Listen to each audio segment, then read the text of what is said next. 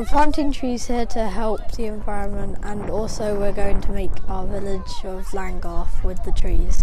I really want to help the environment and get and just get ready for the new town probably going to be built. I think it's important because it helps us with our oxygen and mental health.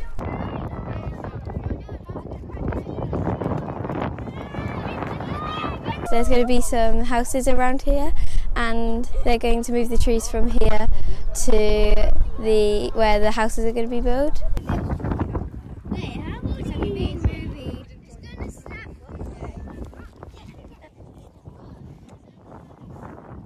It's important for the environment and the climate.